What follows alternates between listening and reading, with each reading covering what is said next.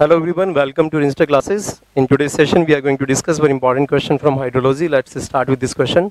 The rainfall of four successive four hours period is given as 1.8, 4.2, 2.8 and 2.0 centimetre ठीक है तो ध्यान दें रेनफॉल इंटेंसिटी नहीं दी गई है आपको ये आपको डाटा दिया गया है कि चार घंटे में टोटल बारिश हर चार घंटे में टोटल बारिश शुरू के चार घंटे में 1.8 सेंटीमीटर की हुई है अगर आप रेनफॉल इंटेंसिटी निकालना चाहते हैं इस डाटा से तो रेनफॉल इंटेंसिटी हो जाएगी 1.8 डिवाइड बाय 4 ठीक है?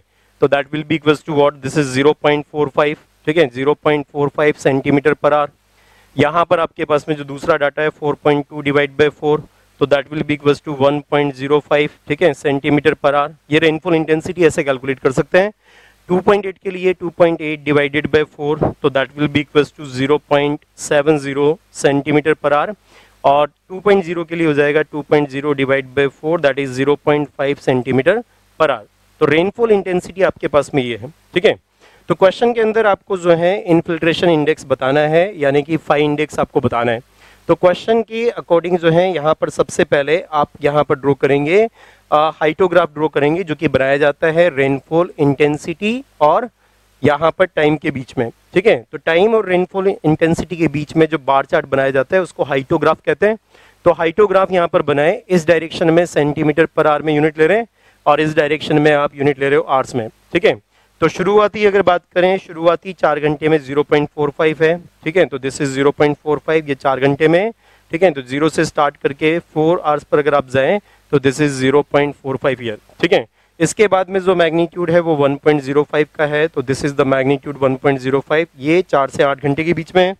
उसके बाद में मैग्नीट्यूड है 0.70 ठीक है? This is 1.05 now the next magnitude is 0.0.70 and the last magnitude is 0.5 ठीक है? Somewhere here, this will be 0.5 here. This is 0.5 तो दिस इज़ 8 एंड 12 एंड 16 ठीक है?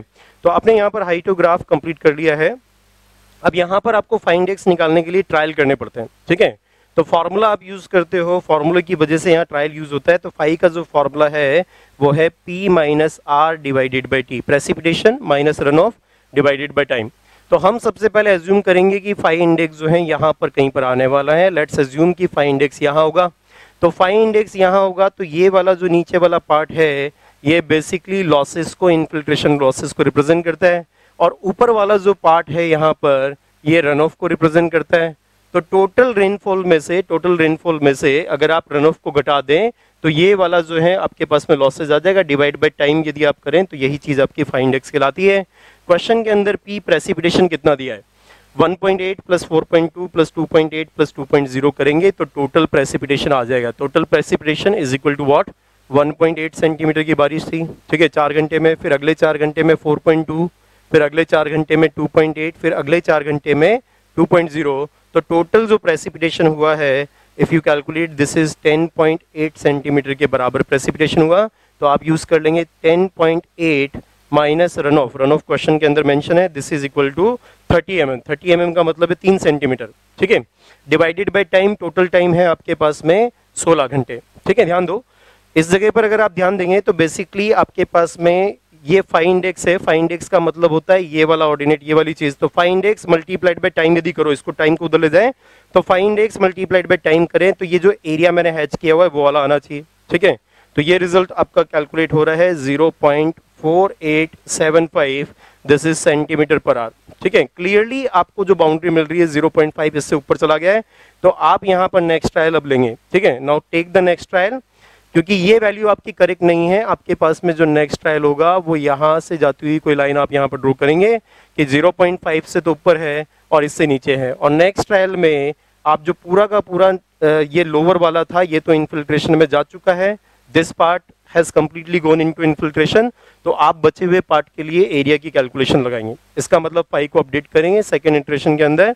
Let's update this five value तो P minus R divide by T करेंगे। ठीक है तो देखिए जरा तो 10.8 पॉइंट माइनस थ्री और इसमें से 0.45 point four five multiplied by four basically आपने शुरुआती जो रेनफॉल हुई थी 1.8 की, वो आपने घटा दी यहाँ से।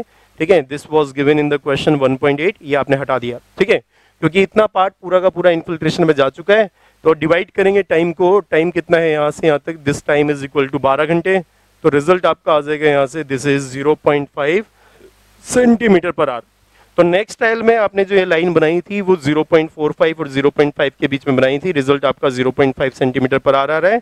ठीक है? This will be what this will be your final result this is the find X value ठीक है? तो फाइंड एक्स के नीचे वाला पार्ट जो है इन्फिल्ट्रेशन को रिप्रेजेंट करता है। हमेशा ध्यान रखें। ठीक है? इन्फिल्ट्रेशन मतलब पी माइनस आर के मैग्नीट्यूड को रिप्रेजेंट करेगा। तो ये फाइंड एक्स क्वेश्चन के अंदर 0.5 सेंटीमीटर पर आ रहा है। ठीक है? यही आपसे क्वेश्चन पूछा गया था। Thank you so much for watching